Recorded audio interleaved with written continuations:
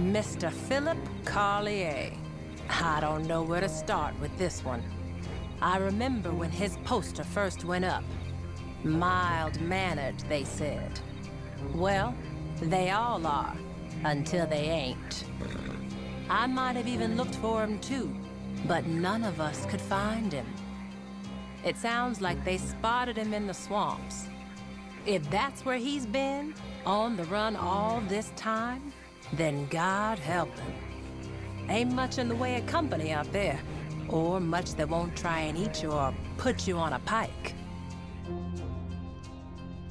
Got to ask what years of that might have done to his mind.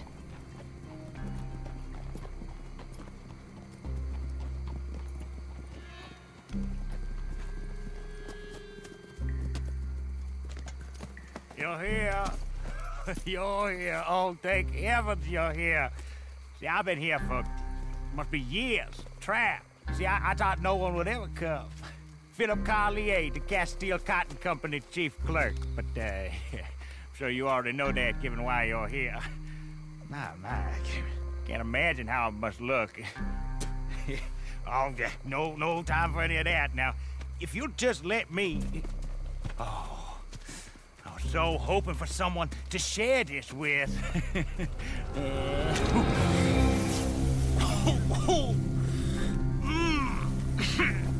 Comes on rather strong the first time, does it not?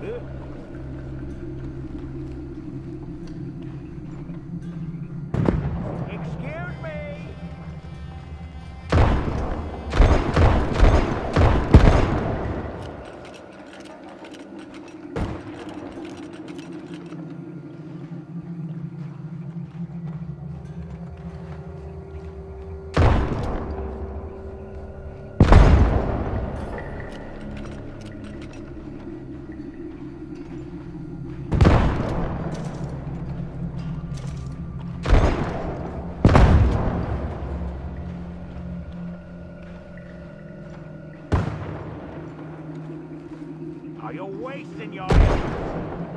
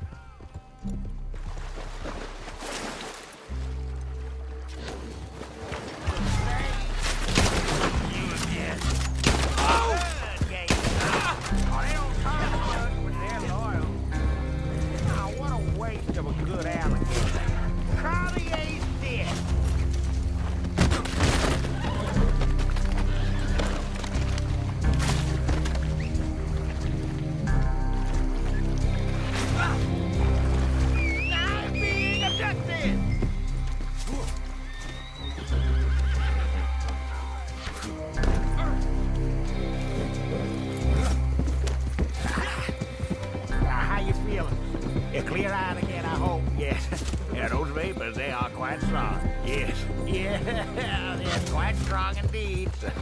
Now, you may not believe me, but you made a mistake. you got the wrong man, you see. Mr. Philip Carlier of the Castile Cotton Company, he, he gone. He died a long time ago, I'm afraid. I know it's very disappointing for a bounty hunter, but uh, yeah, there it is. I promise I saw him dead. His body committed to the swamp. I, I saw the skin rotting off his bones and creatures feeding upon his flesh. And the man is as dead as you and me is breathing now. I, I, I he's dead. You must believe me. How do you think anyone could survive out here, huh? For all this time? I mean, really, it's a ridiculous proposition if you think of it. you know, for a man as, as polite and uh, unsuited to the environment as, as Paul, Mr.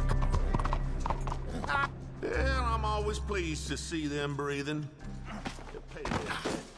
Well, that's what they're worth, and not a penny more.